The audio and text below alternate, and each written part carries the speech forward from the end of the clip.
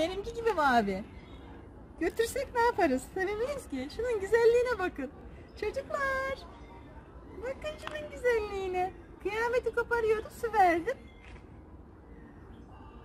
Bakın gözlerine bakın. Elimden bekliyor.